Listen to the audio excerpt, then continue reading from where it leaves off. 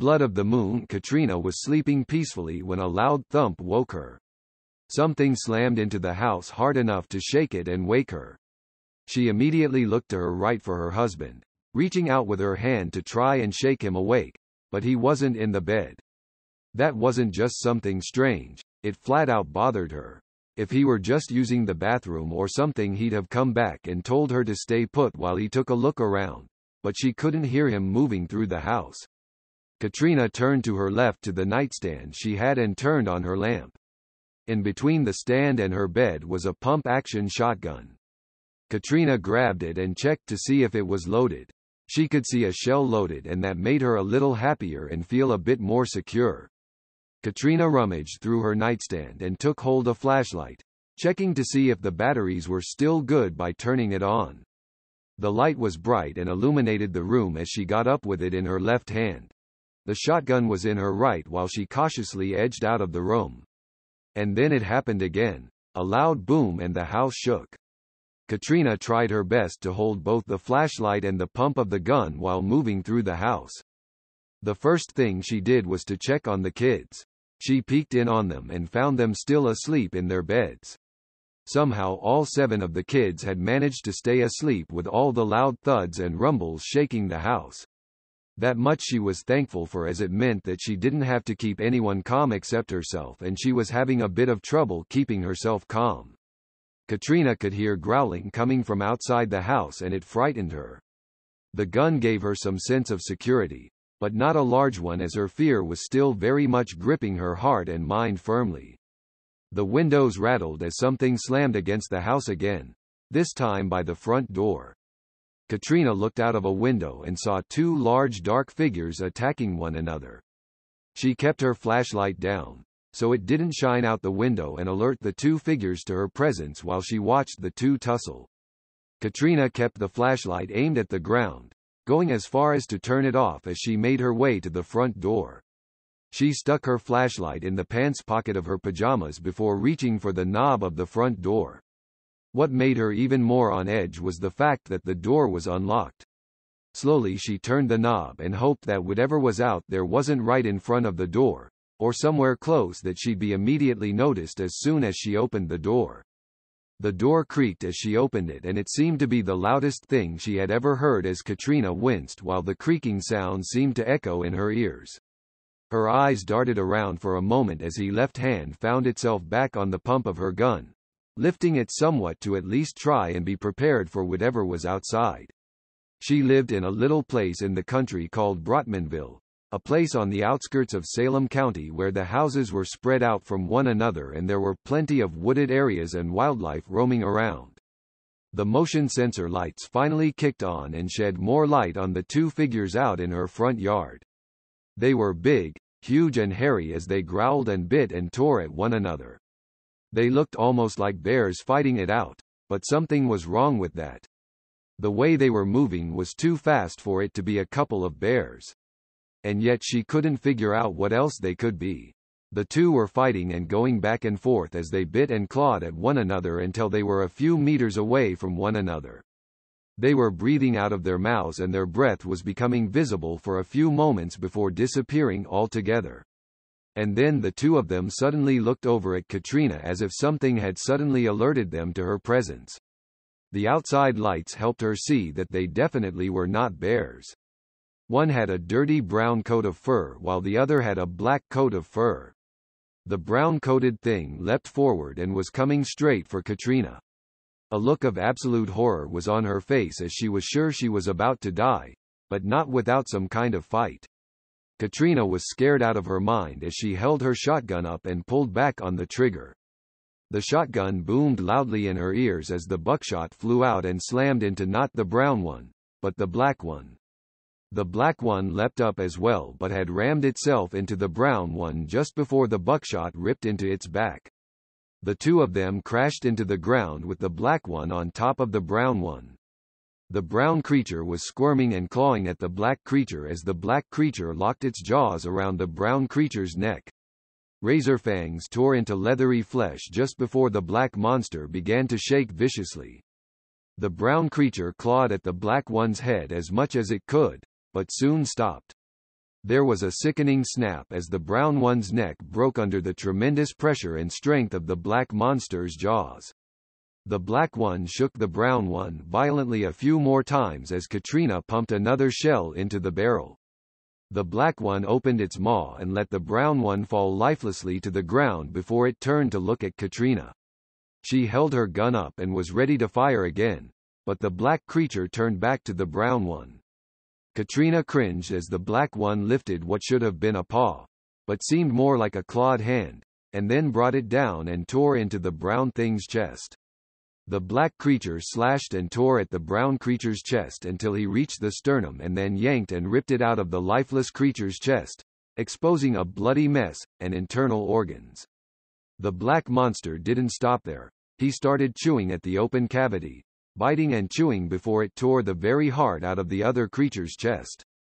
The black monster looked up to the sky as it chewed and swallowed the brown one's heart. And then it stood up to its full height.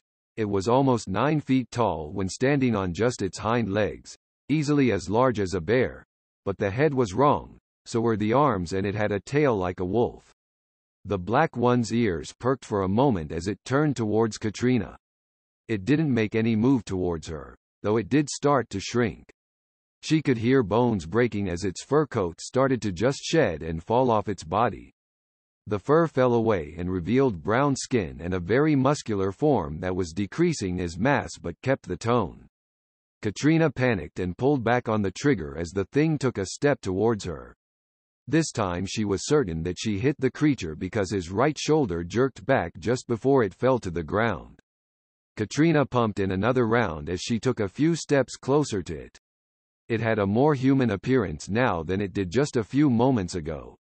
Katrina wanted to know just what this thing looked like and if it actually did hold some sort of resemblance to anything human. When she was standing over what was once the black creature her shotgun fell out of her grasp as she placed her hands over her mouth.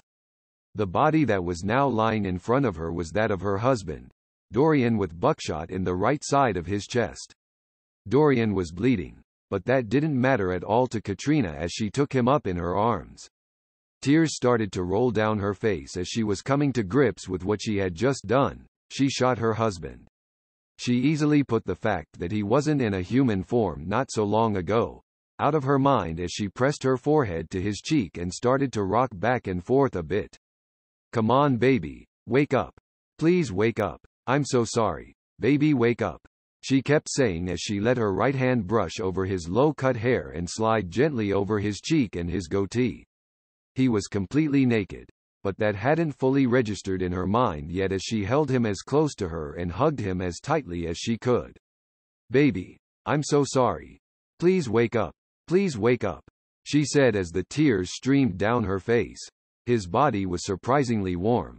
His temperature was well over a hundred degrees, but no beads of sweat were on his body. This made it a little easier to hold him in the cool night air even though Katrina wasn't thinking of that now. Dorian's chest lurched forward, and Katrina let him go. His eyes were still closed, but the blood had slowed down a lot compared to when she first shot him in the chest. She had to get him inside, but the question was how would she do it? Dorian was a good 240 pounds of muscle compared to her 150-pound frame that didn't have nearly as much muscle in comparison. First, she placed her head over his chest and listened for a moment.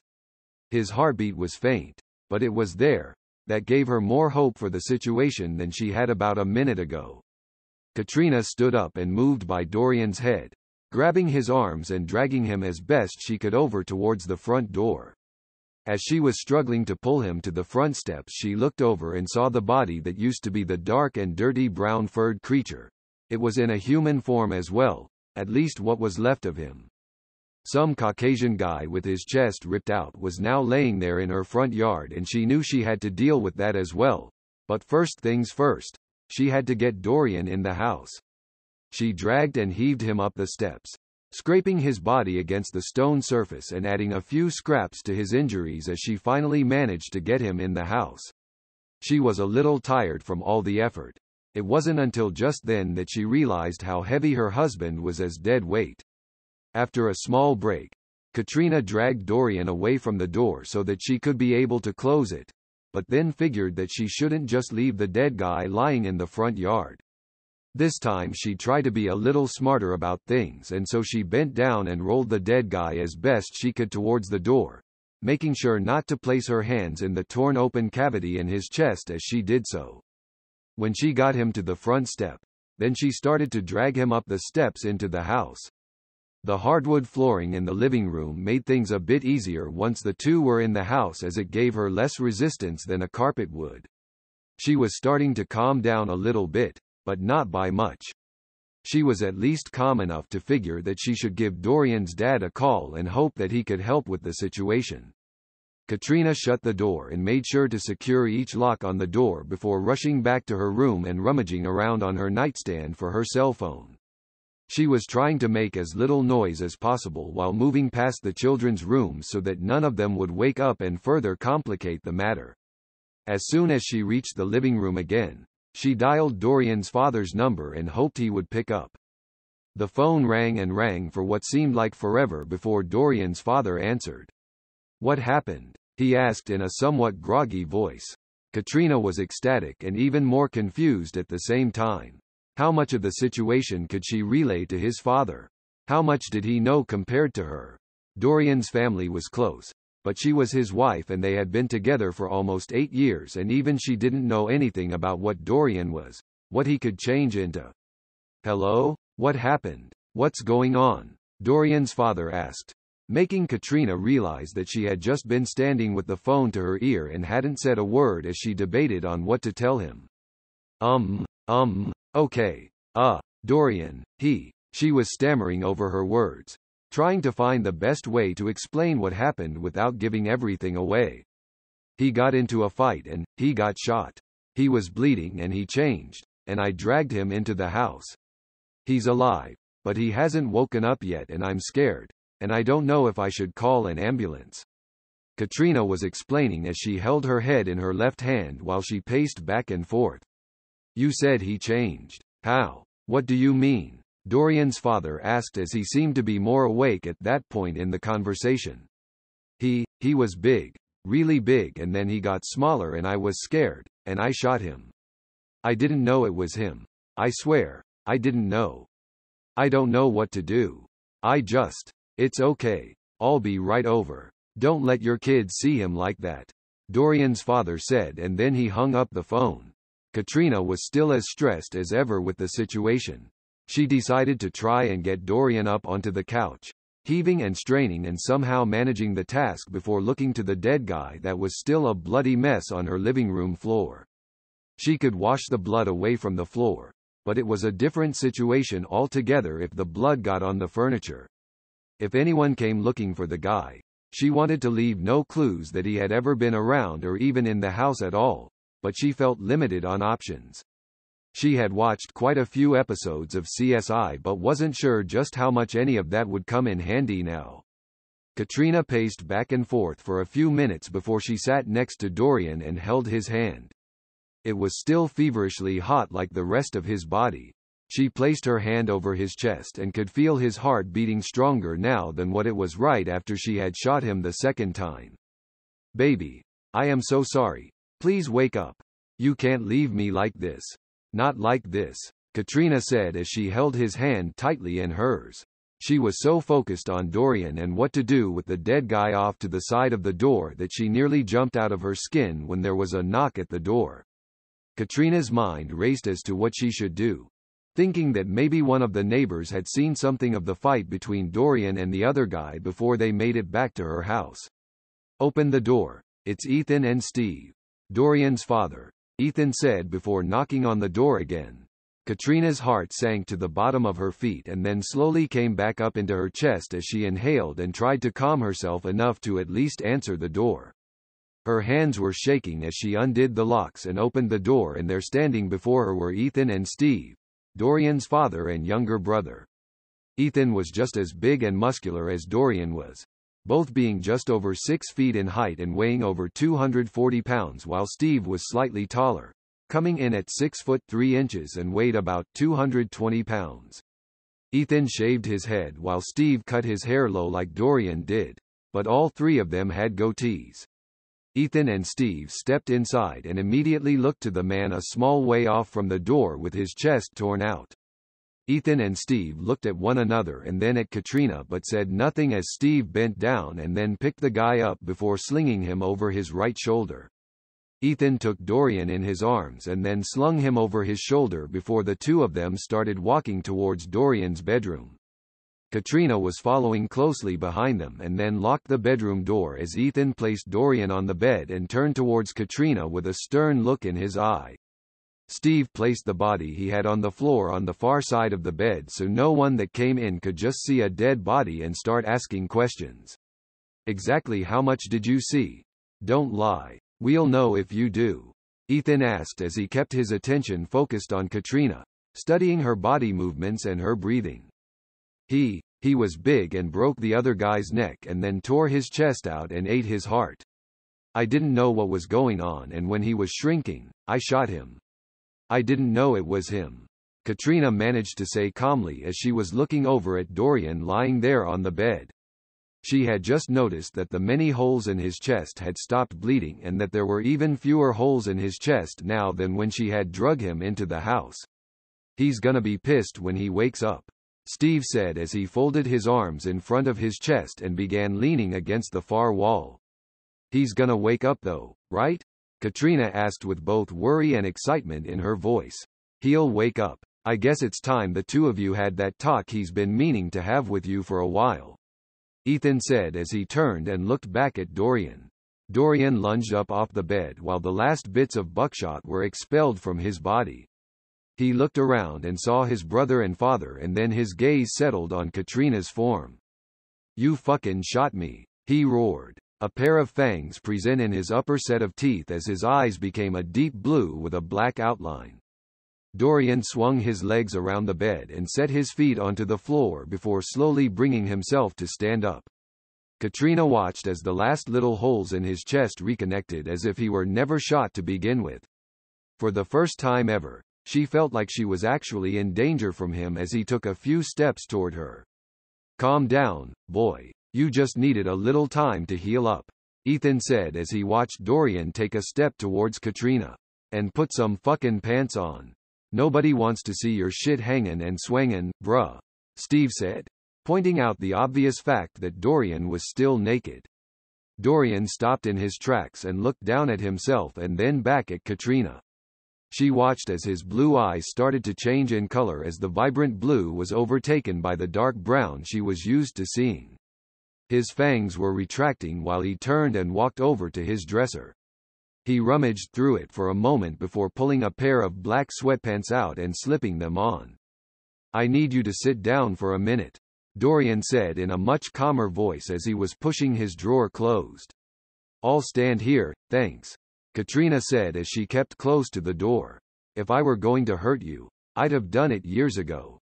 Things changed. You saw me. Dorian said as he seemed sad somehow about things. Guess you're gonna have that long talk you've been planning on having for a while?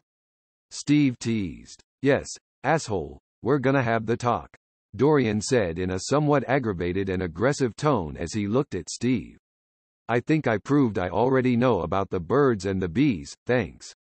Katrina said as she had her hand on doorknob behind her just in case she needed to try and make a quick escape. But you didn't know about me. Not until tonight. I wanted to tell you for a while. So why the hell didn't you? Katrina yelled at him as she cut him off. Because it wasn't just my secret to tell. I tell you about me and you figure things out about the rest of us. And then there's the point of whether you believe me unless I shifted in front of you. And then there's the point of what you do after I did. I didn't know whether or not you'd run away screaming and crying or some shit. Dorian explained which is generally why we try to keep to our own kind when it comes to relationships. Ethan said as he was propping his elbow up on his knee and then putting his head in his hand. Pop, if I found one that didn't try to challenge me on absolutely everything and didn't think they somehow had a bigger dick than mine, I'd have settled with a wolf blood. Dorian said to Ethan as he folded his arms up in front of his chest akin to what Steve had done. Can we hurry this shit along? This body is starting to fucking stink. Don't act like I'm the only one that can smell it either. Steve said before kicking the dead body on the floor one good time. As I remember, you're the one that can't take the stench of a dead body, or clowns. Dorian said as his head swiveled around toward Steve. Fuck you. You know damn well that clown wasn't just a fucking clown. Steve said defensively as his arms fell to his sides. Yeah, I know. I'm the one that ate him after I heard you crying. Dorian said before turning back towards Katrina. An expression like she had just had an epiphany of some sort lit up all over her face. Your kids know about you, don't they? Katrina asked as she took a step closer to Dorian. Yes. I got them used to the concept when they were young. I'd walk around in war form and downshift in front of them, so they had a better time comprehending. I never upshifted in front of them until they got older. Dorian explained with a small nod of his head at the beginning. Upshift, downshift? Katrina asked as she was standing just off to his left side. It's just terms we use for changing. Upshifting is when we take our war form, the big wolf creature. Downshifting is when we take our human forms again. Most often we just call it shifting. Ethan stated as he moved his head away from his hand but kept his attention on Katrina. So, your oldest two are like you? Katrina asked while looking Dorian directly in the eye. Yes, he answered. He opened his mouth as if he wanted to say something, but then decided to simply close his mouth again. And the three we have together? She asked, and Dorian just nodded to answer instead of saying anything. And all of those times I thought you might have been sneaking around with another woman. It was all just, wolf business? Katrina asked, still looking Dorian square in the eye. Yes, he answered. Katrina slapped him as hard as she could with her right hand. Dorian's head turned to the right and then he snapped his attention back to Katrina with obvious anger in his eyes. You know how often I thought you were fucking around on me? Do you know what that was like for me? I started to file for divorce three different times because of that shit. Katrina yelled at him with tears welling up in her eyes. Dorian immediately calmed down after seeing how much pain she was expressing and trying to work through. Try to calm down and please sit down. I'll try to answer every question you have. Dorian said as he rubbed his cheek for a moment and then looked over at the bed. Katrina moved away from Dorian and sat on the foot of the bed and thought about the questions she wanted to ask him. When did you get bitten? I didn't, I was born like this. We all were. Remember how I told you that I'm black, white, Puerto Rican and two tribes of Native American? Dorian answered and then asked a question of his own. Katrina looked at Ethan and then Steve after now understanding that they too were like Dorian. Yeah, I remember. So, it's the native tribes in you that make you like that? Katrina said as she was trying to figure out how he and his family for that matter, could all end up being werewolves. It's not just that. Everyone has it that Anubis was a jackal god, but they misinterpret him. His children were werewolves and the African heritage in me, on both sides of my family are descended from him. The white heritage in us were descended from druids that learned how to shape-shift and often took the form of wolf creatures. And then there's the two tribes of Native American in me are said to have managed to mate with wolves and thus those children were among the first wolf bloods in that part of our family. Dorian explained before he walked over in front Katrina and crouched down a bit in front of her. So, what's the Puerto Rican in you do? Katrina asked as she quirked up her right eyebrow while looking at him. Same as the Puerto Rican and Italian in you. Nothing. There's a chance it might add to things, but no one's really sure. You have any more questions? Dorian said as he took her hands in his. Why'd you kill that guy? Katrina asked before looking over at her side of the bed where Steve was and then back at Dorian. I was wondering that myself. Ethan said as he was also looking at Dorian. He came into the territory and was starting to scare people, I explained the rules pretty clearly and he didn't like what he heard, and he thought he could take me. Dorian explained clearly as if the death battle he was in not so long ago was nothing new to him. What rules? Katrina asked with a perplexed look upon her face. She was doing her best to process all the information she was receiving, but a few things were still a puzzle to her. The rules of the land. I rule this area and if you want to stay here you abide by them. If not you leave or die. Don't kill humans unless you absolutely need to. Don't get the humans curious and draw attention. That way the hunters don't find us. Dorian stated as he stood up to allow his legs to stretch a bit. Hunters? Seriously? Stuff like that exists? Katrina asked as she looked around at the three of them. We exist, Steve said in a somewhat sarcastic manner before kicking the dead body again. Can we please do something about him? Dude is really starting to stink. You're just smelling his intestines. Shut the hell up. Can't believe you can't deal with a dead body. Dorian said as he shot a glance at Steve and then looked back at Katrina. No, I can smell it now and I don't want dead body stench in my bedroom. So yeah, can we do something about that before the kids wake up? Katrina said as she looked over towards the body. Dorian laughed a little bit and then nodded at her before looking at Steve. You still know how to make a body disappear? Dorian asked in a sarcastic manner as he looked at Steve. Yeah, we can make it disappear, but you know that boy's first change is coming soon. You figure out where you're holding the right yet? Steve questioned as he started to pick up the dead body and sling it over his shoulder. A small portion of its intestines wriggled up and touched on his shoulder. Steve could smell the fecal matter barely kept in place by the intestines and shook his head while holding his nose with his left hand. I have a place picked out. I was planning on talking to him about it today. I still plan to. Dorian said as Steve walked by him with the body on his shoulder. Steve stopped for a moment and then patted Dorian on the shoulder before returning his left hand to his nose and continuing to walk towards the door. Just let us know and we'll be there, Ethan said as he got up from the bed and walked out of the bedroom right behind Steve. Dorian looked at Katrina and saw that she still had questions in her eyes, but she hadn't said anything yet, even as Steve and Ethan were walking out. The two moved quietly through the house and eventually outside, locking the door behind them before tossing the body into their car and heading off. Dad? Damon said as he was rubbing his eye with his right hand. The eldest son, the eldest child of Dorian now stood in the doorway of his bedroom, looking down the hall and then back at his father. His skin tone easily displayed the fact that while his father, although having a multi-ethnic background, was more on the darker side of skin pigment, he was more towards the lighter side of brown as his mother was Caucasian as well. I smell, Damon started to say but became immediately tight-lipped when he looked over at his stepmother Katrina. You smell blood, I know. We have a lot to talk about in the morning. I found a place for your first shift. Dorian stated and the fact that he was being so open about things they had kept secret for years baffled Damon. A look of confusion took a firm grip on his face as Damon looked between Katrina and Dorian for a moment. She knows. She saw me in war form tonight. I had to kill someone tonight. He was like us. Give your stepmom some props though. She shot me in the chest with a shotgun even though she was scared out of her mind. Dorian said with a bit of the laugh towards the end.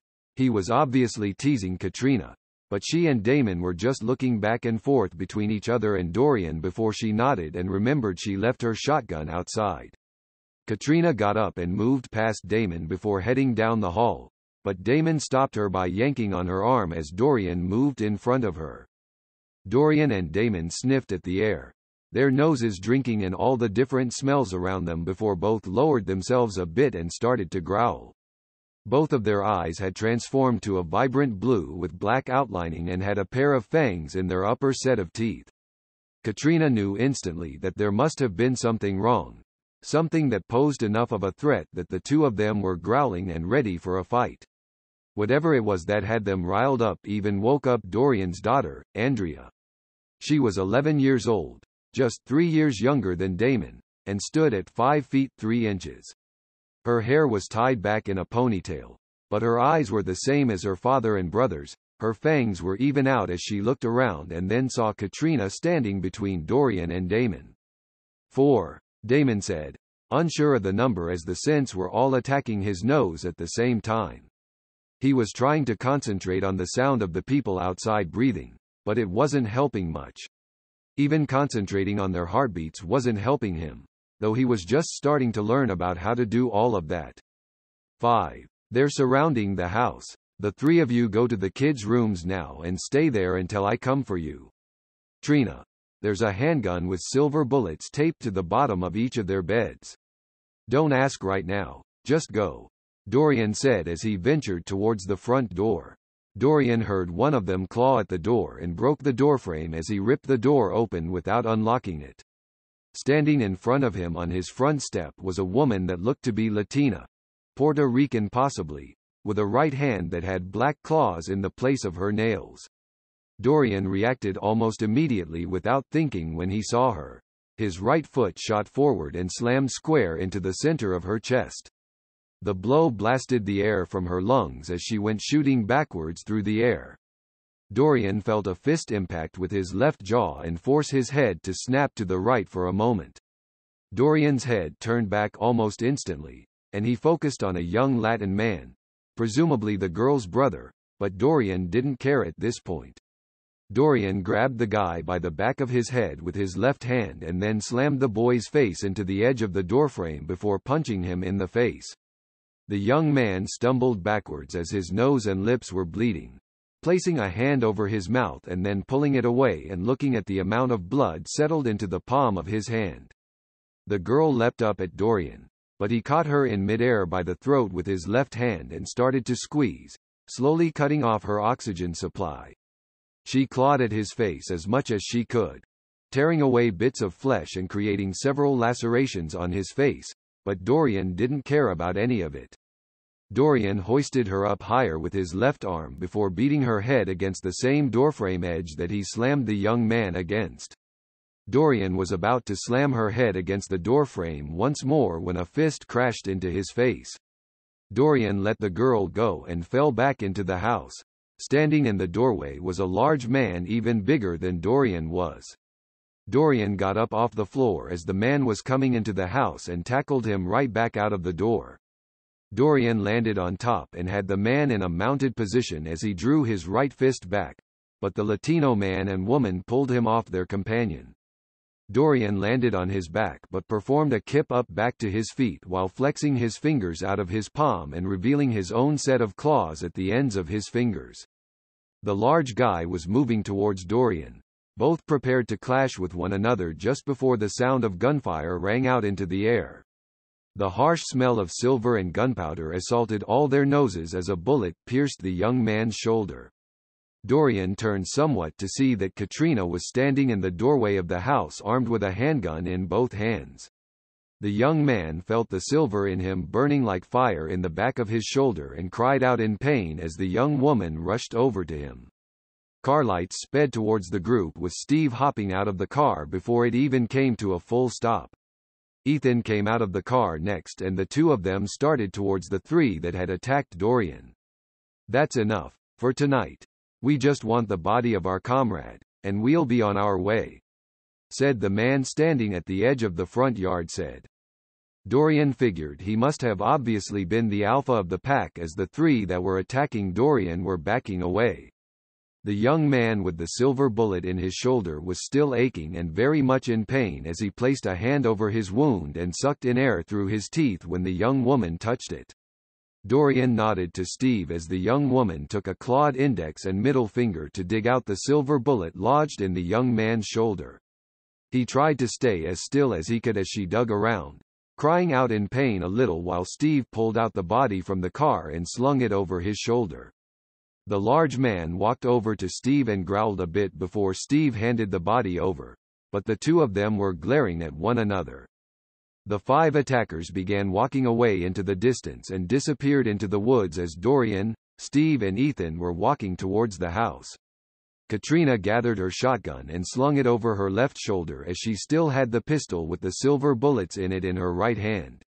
Dorian stopped at the door and stared at the deep claw marks in the door for a moment, just as Leia and Marie, Katrina's two daughters, were coming around into the living room. Dorian immediately turned away from them and closed his eyes to try and ensure that the two human girls didn't see his eyes be transformed, also because he was still healing from the claw attacks to his face from the young woman. Steve and Ethan closed their eyes too for a moment as Katrina made sure to stand in front of her daughters so that their attention would fall on her instead of them. What are you guys doing up and out here? We heard a lot of noise and something like a gunshot. Leia said as she tilted her head to the side and saw the claw marks on the door. Katrina turned and saw what she was looking at and then turned back to her girls. There was a bear here. We managed to scare it off before anything bad happened. You two go back to bed. I'll be in there to check on you in a few minutes. Katrina said as she put a smile on her face to try and influence the girls to stay calm and do as they were instructed without asking any more questions. Fortunately, they didn't, and went back to their room. Dorian turned around as they were leaving and placed his left hand on the side of his face for a moment. It stung like hell to him for a few seconds before he took his hand away and looked at his palm to see how much blood was present on it. He was trying to measure how deep his wounds were and how fast he was healing by the amount of blood still coming out of the wound. How'd you guys know to come back? Dorian asked as he was wiping blood onto his pants while looking at his brother and father. Could smell them with the window down and figured there was more trouble. You already killed one tonight. Chances were they were coming for him. Obviously, we were right. Ethan explained as he was looking at Dorian's face to see how well he was healing. The wounds were almost closed and healing faster than even Ethan thought they would. They would. We can hang around for a little and make sure that they don't come back. Steve said as he was closing the back door of the car. Nah. We'll be okay. Trina has a few more guns lying around the house she can use. Dorian said with a bit of a laugh as he turned to look at her. You were really serious about letting her know, weren't you? Ethan asked as he focused on the pistol with the silver bullets. Of course, I was. I just didn't know when or how to tell her. Dorian answered as he stepped next to her. You need to teach me how to protect myself and my girls from shit like this. Is a gun with silver bullets gonna be the answer each time? Is it that simple? Katrina said as she was looking at Dorian with a concerned look on her face. You know what she's really asking you to teach her without really knowing it, right? Steve asked as he was opening the front passenger side door of the car. There was a small stint of silence as Katrina looked between the three wolf bloods and then settled her attention on Dorian. Yeah, I know. Teach her how to be a hunter. Dorian said as he was looking at Katrina. Katrina didn't fully understand what such a thing meant, but she knew it was obviously something serious. She could figure out at the very least that hunters saw werewolves as their prey, and that meant that they knew how to kill wolf bloods. She figured that's what it meant to defend yourself against a wolf blood. One of you are probably going to die in the effort. That's why there are guns with silver bullets all in the kids' room, isn't there? Katrina asked as she looked down at the gun in her hand and then over at Dorian. You know what she's really asking you to teach her without really knowing it, right? Steve asked as he was opening the front passenger side door of the car. There was a small stint of silence as Katrina looked between the three wolf bloods and then settled her attention on Dorian. Yeah, I know. Teach her how to be a hunter. Dorian said as he was looking at Katrina. Katrina didn't fully understand what such a thing meant, but she knew it was obviously something serious. She could figure out at the very least that hunters saw werewolves as their prey, and that meant that they knew how to kill wolf bloods. She figured that's what it meant to defend yourself against a wolf blood.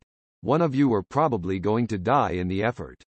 That's why there are guns with silver bullets all in the kids' room, isn't there? Katrina asked as she looked down at the gun in her hand and then over at Dorian. I meant to tell you for a while now. I just didn't know how. Kinda not something you bring up in a casual conversation. Dorian said while he was walking over to the couch. Steve and Ethan waved and then closed the doors to the car before starting it up. Katrina waved and then closed the door and walked over to the couch, setting the shotgun on the floor in front of them and resting her head on his shoulder. You're a rat bastard for keeping that from me for so long, you know that? At least I made sure we were prepared for the day I actually told you. That part was harder than you think. I couldn't leave them in Andrea or Damon's room because the silver would have been all they smelled, and I couldn't have left them in Leia or Marie's room because they might touch them or tell you about them before I was ready to tell you. This whole thing is bullshit. I had to put them in bags, so we didn't smell the silver all through the house. Dorian said as he wrapped his arm around Katrina and rubbed his hand up and down her arm. You guys can smell silver?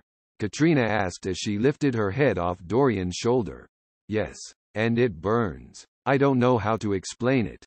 Dorian said as he was trying to find a decent comparison for her to try and understand him just a bit better. It's kind of like when you smell smoke. A little bit of smoke doesn't bother you, but if it's thick enough it burns the hell out of your nose. Dorian explained and then pulled her close to him and she laid her head on his shoulder again. Silver is like acid or fire to us. It burns and can leave scars if we're not careful. Hunters lace their bullets with poisons that slow us down if the first shot doesn't kill us outright. That's about the only thing I envy vampires for. They don't react to silver, or poison. Wait, vampires exist too?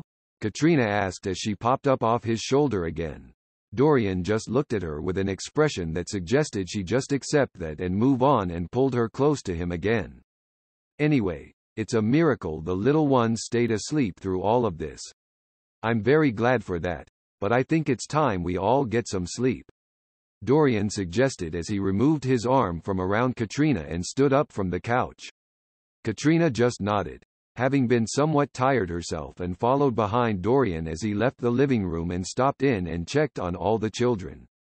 Leia and Marie were well on their way back to sleep when their door creaked open, but Damon and Andrea were wide awake in their younger siblings' room. Dorian nodded to them and pointed with his thumb out of the room. They both understood and went back to their own rooms as Dorian and Katrina went on to their room. Katrina and Dorian settled into bed after Katrina put the safety on her pistol and placed it under her pillow. Dorian shook his head bit as he looked at her. Don't trust me to protect you anymore?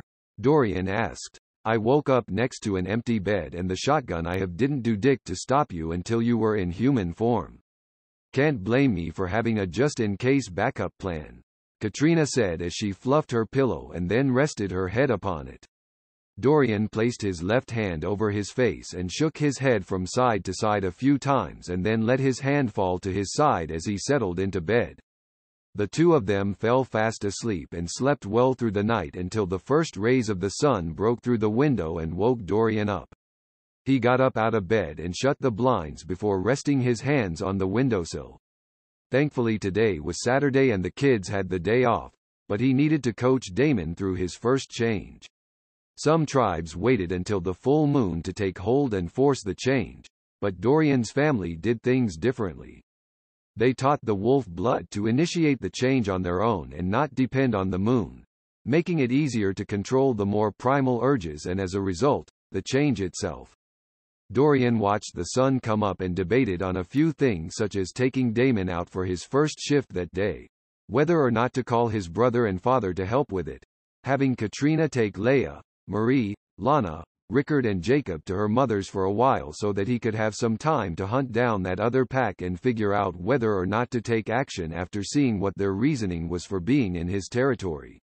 He found that he had become so engrossed in thought that he didn't even notice Katrina get up out of bed. He jumped a bit as she placed her hand on his shoulder. That was the first time that she had caught him off guard and because of that she knew he was seriously and fully distracted. Dorian turned and looked at her and even managed a smile before huffing out a sigh as he made his decision. I need you to take the kids to your mom's place today. I don't want you guys here if anything happens. But Damon and Andrea are okay to be here? Katrina asked as she folded her arms up in front of her chest. They can handle themselves. I've been teaching them how to fight. Not just martial arts, but how to use their wolf blood abilities too. Unless the guy's as strong as I am, I'm more than confident they'll be okay. Dorian said as he was searching through his dresser for a shirt to put on. So, what happens if they go war form, before you do? Katrina asked as she started searching for something to wear as well. Doesn't make a difference.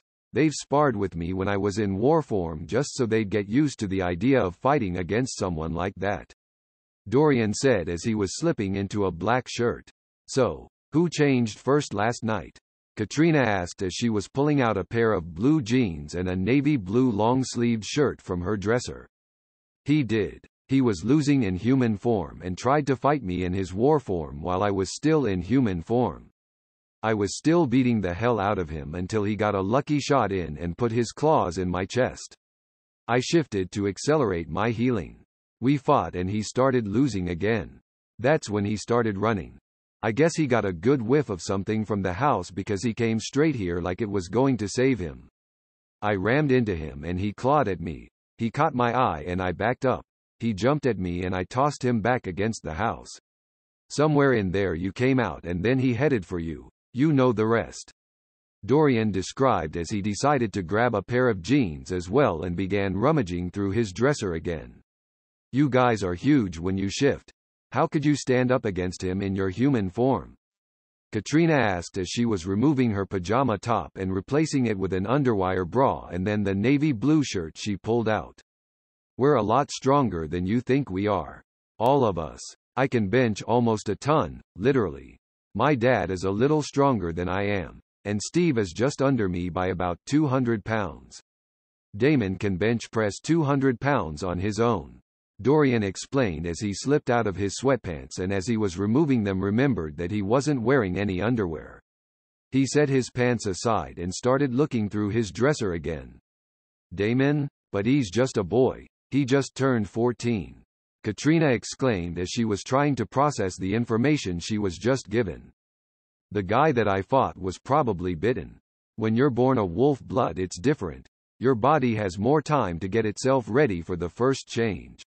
After that you get a bit stronger after every shift you go through. Old wolf bloods are extraordinarily strong physically. The only reason I'm almost as strong as my dad is because he pushed us when we were younger. I hated him for it at the time, but as I got older, I started to understand why. We're something of a loose pack. Technically I have my own pack with the kids and that makes me an alpha, and Steve has his own kids, but if need be, we come together to help each other. Kind of like a pack of alphas. Dorian said as he was slipping on a pair of boxer briefs and then the baggy blue jeans he set on the bed. So, what's the difference between being bitten and being born like you? Katrina asked. She wasn't too clear on the issue and wasn't sure if the difference meant anything. Born wolf bloods are usually stronger than bitten ones. Like I said, our bodies have more time to adjust to things before the first shift happens. But a bitten wolf blood can be just as strong if they work at it, though it takes a while. We heal faster from injuries for one, but bitten or born, healing makes us hungry. A born wolf blood in human form can be almost as powerful as a bitten wolf blood in war form, depending on how long they've been one of us. Dorian said as he was lacing his leather belt through his pant loops and then through the buckle. So that's why I can never keep any damn food in the house. Katrina said with a slightly disapproving tone as she was slipping on her jeans as well, hopping up and down a bit to get them over her hips before she zipped them up and fastened the button. Something like that. Dorian said with a laugh before grabbing his sneakers next to the bed with his socks still in them and first slipping his socks on before his shoes. Just be careful today and let me know when we can come home. Katrina said as she was grabbing her socks and shoes from her side of the bed. You know, you're pretty laid back about all of this, considering you watched me kill a guy and eat his heart in front of you. Dorian said as he leaned against the wall just to the left of the bedroom door. To be honest, some part of me knew. I watched how you'd be in the middle of a conversation and then just stop and look in a random direction with this expression like you were listening for something. Or the times I caught you sniffing at the air which I now know you were trying to catch a scent. And the time a few years back when I came home early from work and you were on the floor in the living room naked and sweaty and seemed pissed that I tried to surprise you. That's one of the times I was ready to file for divorce, by the way. Katrina said as she was tying her shoes, but she made it a point to look Dorian in the eye during the part about getting divorced. I remember that. I had just got done fighting and put down a small pack that thought they could take me if I was by myself. I was tired and literally just finished healing up right before you walked through the door. I'm surprised my eyes were the right color. They weren't. That's one of the reasons I didn't file for divorce. When I walked in, they were blue, and I glared at you the whole time and then they were brown again. I thought I was crazy for a little bit, but I told myself I knew what I saw. I just left it alone after that. Katrina confessed as she put her hand on the knob and opened the door. Dorian was revisiting that time in his head, trying to remember whether he had shifted his eye color in time. He decided to leave it alone. After all Katrina stuck it out with him and even if he didn't there was no changing it now. The two of them walked out of the bedroom just as Damon was walking out of his. He was fully dressed in a black shirt with zombies all over the front of it and a pair of navy blue jeans. Damon stopped in his tracks as he looked at his dad and then at Katrina and back at his dad again. We're going into the woods today for your first shift. Katrina is taking everyone except Andrea and you to her mom's house just in case. I'm gonna call your uncle and grandfather so they can go with us for the ceremony. You okay with all of that? Dorian said before lightly punching Damon in the chest. Katrina was remembering how strong Dorian said Damon was and was examining him a little more closely, finding that he did indeed have more defined muscle in his arms than she had actually paid attention to before. Yeah, Pop, do I get to throw fireballs again? You don't let me do that anymore. Damon said as he nodded his head in agreement to what Dorian was saying and then tilted his head to the side as he looked at his father. Katrina looked at both curiosity and disbelief after hearing about Damon throwing fireballs. If you have enough energy after your first shift, you have to leave yourself enough energy to heal up from all of your bones breaking and your teeth growing back in twice. Dorian said before patting Damon on the shoulder and starting towards the kitchen. He was hungry, but all Katrina was thinking about was the fact that Damon had asked if they could throw fireballs around like before, obviously meaning that they had done so previously. Okay, I know she's not really a factor anymore, but does their mother know about them, about you? Katrina asked as she sat down at the kitchen table and watched Dorian pull out three Hot Pockets and pop them into the microwave. That witch knows, was the answer Dorian gave without even looking at Katrina and he punched in numbers on the microwave. You always refer to her as that whenever anyone brings her up. Was she really that bad? Katrina asked as she was trying to figure out if Dorian's first wife was the reason. He was so cautious in waiting to explain what he was to her. No, I call her a witch because that's what she is. I swear that bitch had to have cast some sort of spell on me just to keep me around that long. Dorian said as his brows furrowed and showed his discontent with talking about his ex-wife. It was also slightly disturbing to Katrina that his ex-wife was a witch. She could have cast some sort of spell on Katrina and made her sick or turned her into a frog or something. Soon enough the microwave was dinging, and Dorian was removing his hot pockets from it and sitting down at the table. Andrea and Damon were soon coming around the corner because they could smell the food their father had prepared. Dorian was looking at his kids and then at his food before looking at his children again. Dorian growled, baring his fangs at the two of them as Andrea was walking up to him fearlessly. She kissed Dorian on the cheek and then took one of his hot pockets and started towards the living room. Dorian sighed in defeat and then pushed the paper plate with the other hot pocket on it into the center of the table as he looked at Damon. Damon took the plate and headed to the living room as well while Dorian just stared at him walking away. You really just let them house you for your food like that? Katrina asked as she was trying to not laugh at what she just witnessed. Shut the hell up, Dorian said as he got up from the table and returned to the fridge, grabbing a bottle of water and twisting the cap off with only his right hand as he looked at Katrina. Aren't you supposed to be getting the kids ready? Dorian said as Lana and Rickard came running into the kitchen. Lana was barely three feet tall and slightly over four years of age. Rickard was slightly shorter than Lana for his three years of age. Both were in pajamas and soon the one-year-old Jacob was stomping in behind his older brother and sister. Dorian took a long drink of his water before placing the cap back on the bottle and setting the bottle on the table and then holding his arms out. All three of the small children ran up to give him a hug and he wrapped his arms around all three of them as best he could. soaking up their hugs and loving it as Katrina took some of his water while watching him. He moved his arms and watched them smile before Lana started looking around for something. Dorian got up and kicked his legs out a bit to stretch before he looked at Katrina. I'm just gonna take the kids now. That way we'll be out of your way while you're trying to get ready. I'll call you and let you know when we get back and how everything went. Dorian said as he navigated past his young children and moved into the living room. Andrea and Damon had already finished their Hot Pockets and were watching television when Dorian stepped into the room and was looking at them as if they were very funny looking. What, Daddy? Andrea asked as she wanted to know why Dorian was looking at them the way he was. I was wondering why the hell you two look ugly as all hell, but other than that, nothing?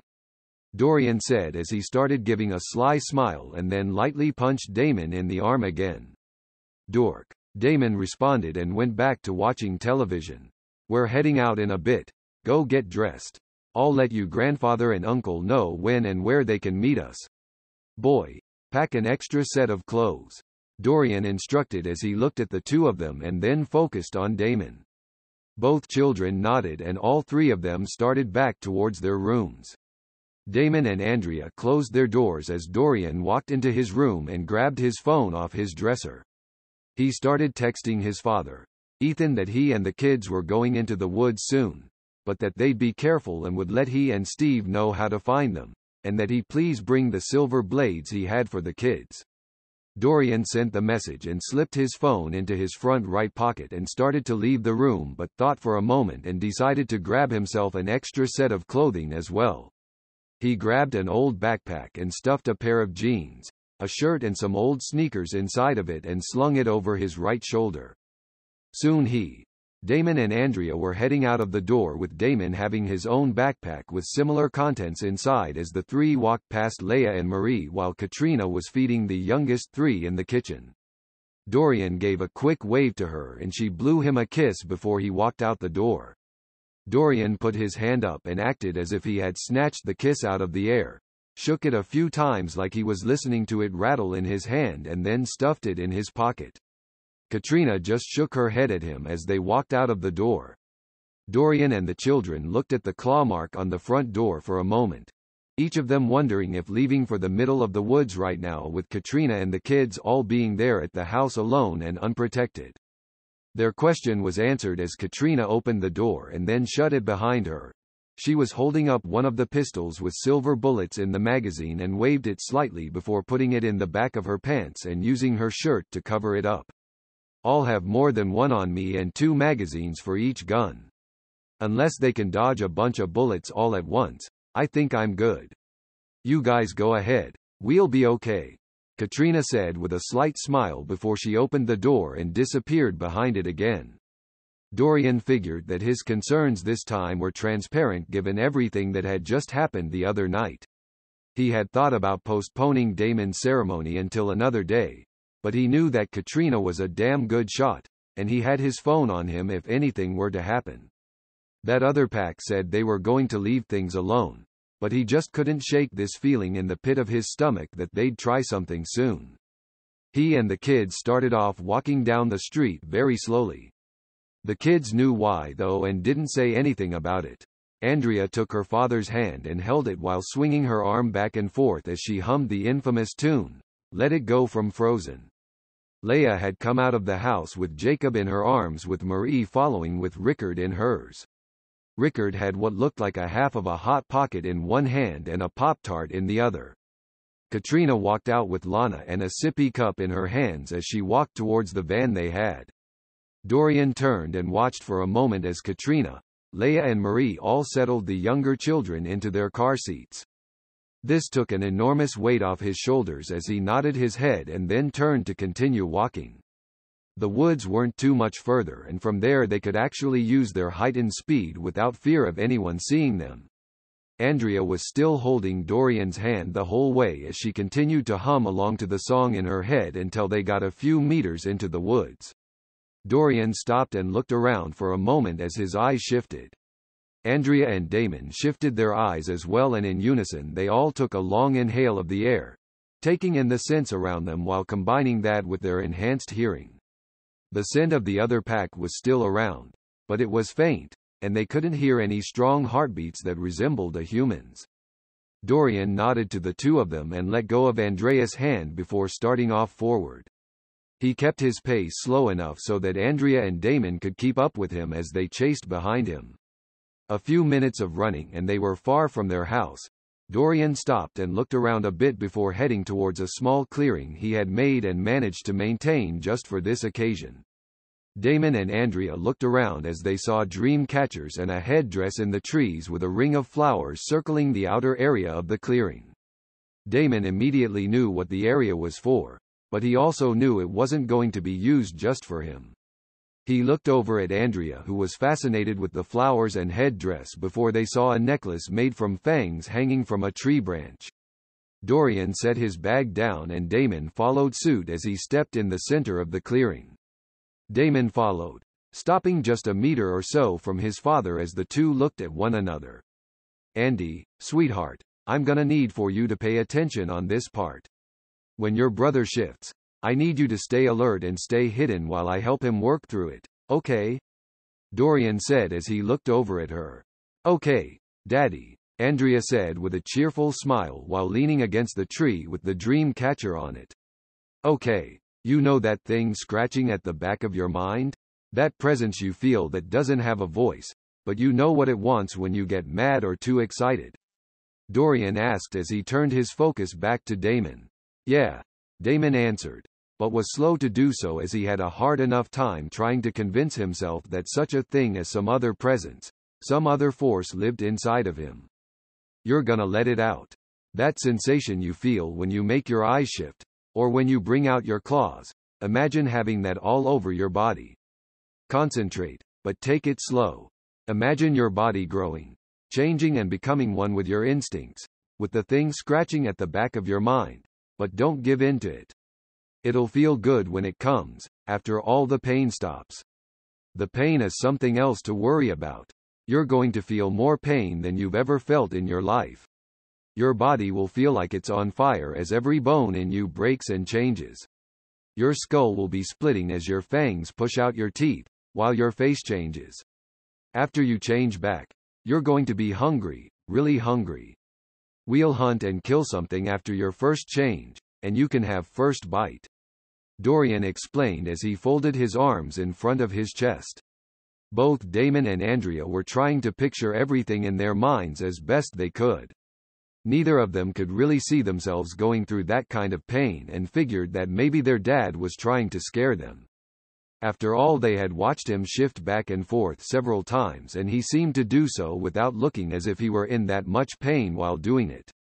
They both knew he was telling the truth about being hungry after the shift though as they had also witnessed him eat great amounts of food sometime shortly after shifting back to his human form. Dorian could see the hesitation in Damon's eyes and couldn't hold that against him. Nothing could prepare someone for their first change and all the pain they were going to feel. Damon exhaled and tried to calm and center himself while closing his eyes. He could feel urges, impulses almost begging to be unleashed and let upon the world. He could feel something, something scratching with a single clawed finger at the back of his mid, slowly scratching and scraping away at the wall in front of it. He didn't know how something like that could even come to mind so quickly, so vividly and he immediately opened his eyes again. It's okay. Take it slow. You're aware of it now and it wants to be let out. Dorian said as he let his arms fall to his sides in preparation of him needing to defend himself from his son. Damon was shocked as he looked at his dad. He hadn't said a word of what just ran through his mind and yet Dorian had just spoke about it like he could see it as clearly as Damon could. That's when the full weight of what Dorian said fell upon Damon's shoulders. Maybe he hadn't been lying or just trying to scare the two of them with how things were going to be for the first change. Damon exhaled through his mouth while shaking his hands loose before he closed his eyes. He could do this, he came from a long and proud line of Wolfbloods and he knew he could live up to the challenge of being one of them. Damon focused on the scratching again. Though this time he imagined the wall that the thing was scratching at had become a giant double gate and the bar was slowly lifting. As the bar was lifting there was tiny shreds of light pushing through the center where the double gate was opening, and then the light became brighter as the gates opened more and more. Even from where he was standing Dorian could feel Damon's body heat go up. Damon's body seized up just before his muscles started to move, tensing and relaxing just under his skin before more and more muscle started to pack on. He could do this. He came from a long and proud line of wolf-bloods and he knew he could live up to the challenge of being one of them. Damon focused on the scratching again. Though this time he imagined the wall that the thing was scratching at had become a giant double gate and the bar was slowly lifting. As the bar was lifting there was tiny shreds of light pushing through the center where the double gate was opening, and then the light became brighter as the gates opened more and more. Even from where he was standing Dorian could feel Damon's body heat go up. Damon's body seized up just before his muscles started to move, tensing and relaxing just under his skin before more and more muscle started to pack on. His bones began to fracture from the pressure being placed on them as his clothes became tight on him. His shirt felt like it was choking him for a second before it completely tore and fell away from his body. Both Dorian and Andrea could hear bones breaking as Damon fell to the ground. His feet growing too large for his shoes and began bursting out of them as he tried to call out in pain. His skull was on fire as he looked up at his dad. Damon's vision blurred as his skull was reconfiguring itself. Fur started to grow all over him as his spinal column became more pronounced. His face was elongating as his teeth were being pushed out of his mouth. The coppery taste of blood rushed over his tongue before he swallowed it and opened his mouth again. His pants tore and fell to the ground in tatters as his fangs were pushing through his gums. Damon could feel the fire all over his body and then there was numbness as darkness seemed to surround him. He felt trapped inside of his own mind as he could see the thing scratching at him. It was free and now he was the one on front of the gates, but the gates were closed. He could see outside, but he couldn't get the bar for the gate to move for the life of him. Dorian looked down at the full war form his son had taken and was feeling a mixture of emotions ranging from pride to great concern as Damon's war form focused its attention on Dorian and slowly brought itself to stand fully. He was seven feet tall in this form and well over 300 pounds of brutish muscle. Andrea looked at her brother in frightening awe before trying to ease her way around the other side of the tree she was in front of while this war-formed wolf blood opened its mouth and growled at Dorian baring its fangs at him. Dorian caused his eyes to shift and growled right back at the beast, baring his fangs at it. The beast flexed slender digits in and out of its palms before crouching low for just a moment and then using its powerful hind legs to push it forward as it leapt at Dorian with its hands in front of it, fully intending to pounce onto him and rend his flesh with the claws on each hand. To be continued next issue.